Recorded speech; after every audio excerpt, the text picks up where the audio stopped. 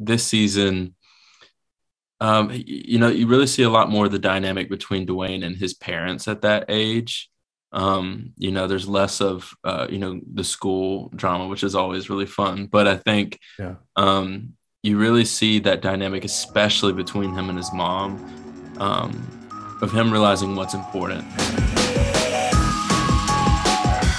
First thing I want to ask you is obviously Young Rock season two premieres next week, and you're all you three are playing different versions of the Rock.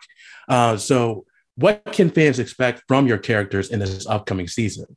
This season, it's it's a little surprising because I think you know last season we left off and um, you may think it's going forward, but we're actually going backwards a little bit with me, and I'm going to be in Nashville. So it takes place a little bit before Pennsylvania, and yeah, I think this season um, you know, you really see a lot more of the dynamic between Dwayne and his parents at that age. Um, you know, there's less of uh, you know the school drama, which is always really fun. But I think yeah. um, you really see that dynamic, especially between him and his mom, um, of him realizing what's important. There's still more shenanigans and thieving, even more so than uh, Pennsylvania Pennsylvania had. Um, yeah. But there's going to be a lot of a lot of challenges, and I think you know, Dwayne at 15 in Nashville um, really struggled, um, especially in figuring out who he is. And it was very uncomfortable, um, but it's exciting. And Uli, what about you? Uh, so for me, uh, we kick off with Dwayne at uh, playing in the CFL. Uh, obviously, we know that didn't work out, um, and then we we have the seven bucks moment, which is uh, yeah. pretty in his journey and then we get to see him find his feet in the wrestling ring. Uh, and then you know grow into you know we get to see the first glimpses in, into him evolving into the rock. So uh, well you know the early glimpses of that.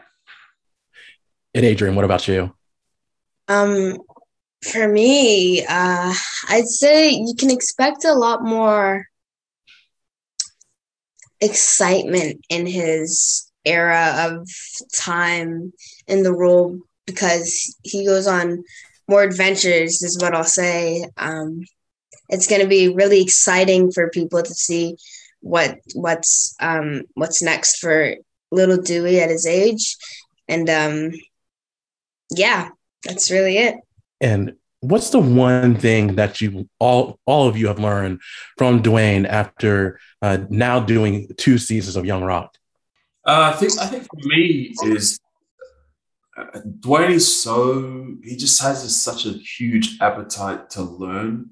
I mean, as much as he is driven, uh, he just is will always put himself in the position of being a student of whatever it is, whether it's football or um, or wrestling. He really is keen to start from the bottom and and work his way up. So I think for me that is is pretty much explains one his work ethic, but also his his mentality when when you know everyone likes to see things uh, in their finished stages, right? You know, uh, like uh, at the top of their game, but but really seeing uh, what it takes to get there is, is something key for me.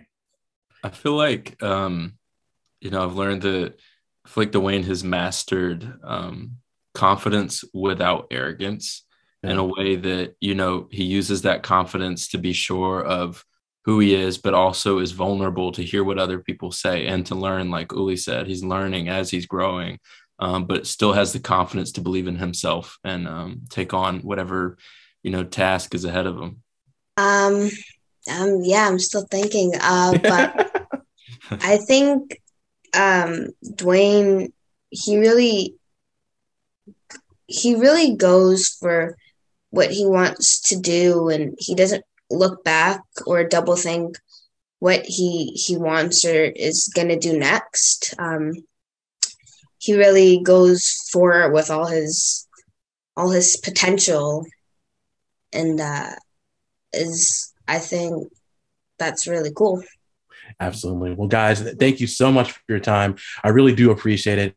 And again, congratulations on season two of Young Rock. Young Rock season two premieres next week. What can fans expect from this upcoming season? They can expect more wrestling. Yeah. New wrestlers. Uh, Stacey, what do you think? I was just about to say that. Lots more wrestling. Um, wrestling fans will get to see their favorite kind of iconic wrestlers on the screen. I don't want to give too much away. Um, you'll see the family go through a whole new uh, journey. As we know, they traveled around a lot, and um, it's just a bit of a roller coaster. So more of that in season two. Um, yeah, it's a fun ride. Uh, of course. And jo- Joseph, I wanted to ask you this: uh, What's the biggest thing you learned uh, by playing the role of Rocky Johnson now for two seasons? I, I mean, I, I, knew nothing. I knew nothing yeah. about. So uh, everything, everything I, I, got to learn is new information to me. Um, I didn't know about him and Tony Atlas being the first, you know, African American tag team champions. I had no idea. Um, I didn't know why he left the WWF. Maybe we'll get to hear about that. Um, so it was all it was all new to me. Absolutely, and uh, Stacey, um, your character has shown he has a lot. She has a lot of love for Dwayne. Uh, she tries to take care of him as much as she can, and and obvi- and Ata has been appeared on the show quite a, a couple times. Um, have you got a chance to talk to her? And if so, um, what have you learned from her?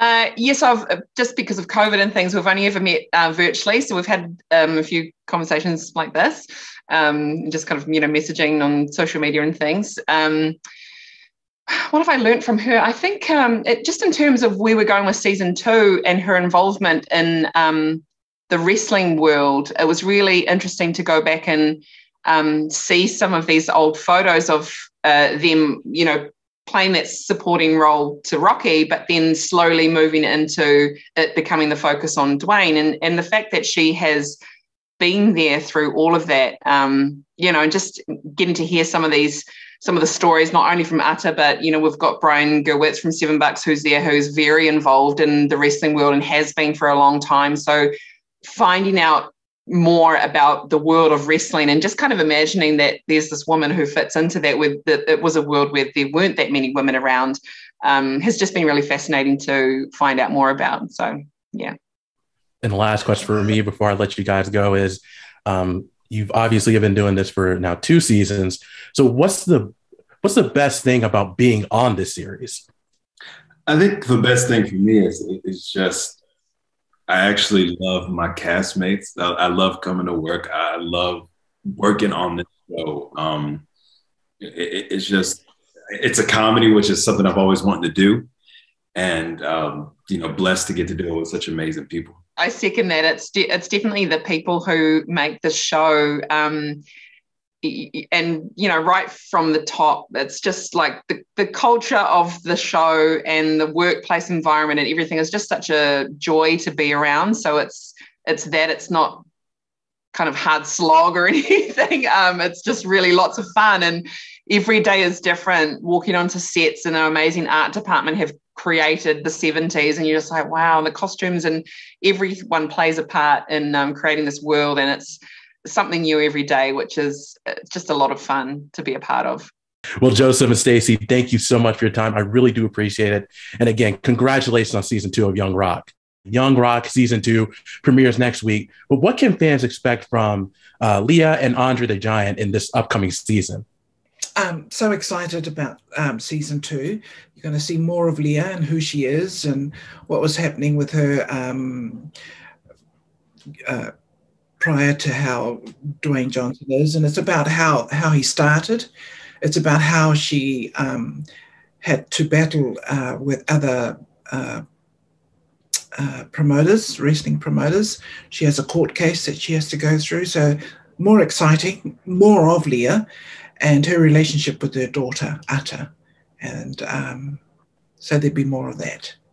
Yeah, for, from Andre, you're going to see a little bit more of the same. You know, I think there's uh, definitely we're going to have uh, some time with little Dewey again, and him imparting some uh, some wisdom and some love towards him. Um, I take a little bit of a step back a little bit for a few episodes. Uh, I'm going to help Lia uh, as her court case sort of progresses and help her along the way, and then and then we'll see how it goes after that. And I want to ask you this: Lia is known for being one of the first female promoters in pro wrestling history. How has the experience uh, for playing Lia, uh, playing playing such a strong figure? Um, how has that experience been playing such a strong figure who is a big part of pro wrestling history? Oh, thank you for that. Uh, well, first of all, I, I needed to know who she was and how she was. And that was very difficult because there was very little known about her. There's n- nothing much known at, about her at all. Um, so it was a lot of uh, information and advice from uh, Dwayne and his mother Ata, um, how to, who she was and how she was within their family, and then I had to ask uh, for um, some dialogue um, assistance because didn't know how she sounded. Mm-hmm. Um, they sent me um, some particular some um, dialogue.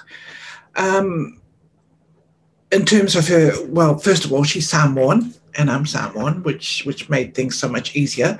And yeah. the women in our community are very much alike. Well, women back then, not not now. So it was really easy to play um, a Samoan woman. So and also the writers and producers uh, knew Lia uh, when she was alive back then, and so it was also great to know and they would provide me with some information and feedback on that. She was a great character, great sense of humor. Um, and so assistance from them and others that knew of her helped me play the character as, as uh, authentically as possible. Yeah. Right. And Matthew, I'm going to ask you this. Uh, you have been promoted to a series regular for season two. Um, what was your reaction when you first learned the news? No, obviously it, it, it, was a nice uh, turn of events as far as just, I think it was a credit to the way that people uh, connected with Andre's character and sort of uh, enjoyed sort of how he came into to play. Uh, you know, obviously it means that uh, that Andre will live on. It was cool for me, you know, to be able to continue that sort of side of the relationship uh, was important, and and hopefully, you know, as things go on and progress, we'll get to see sort of Andre and sort of his, you know, his later years in life and how sort of uh, and how that came about. Because you know it was a it was a tough last few years for for him as as a human being, and and so I think uh, hopefully as time goes on, we'll sort of delve into that part of it. And the last question for me before I let you go is uh, obviously Dwayne The Rock Johnson has played a big part in this series. I know he's been on set quite a few times. What have you guys, what's the biggest thing that you learned from Dwayne while you're on set with him?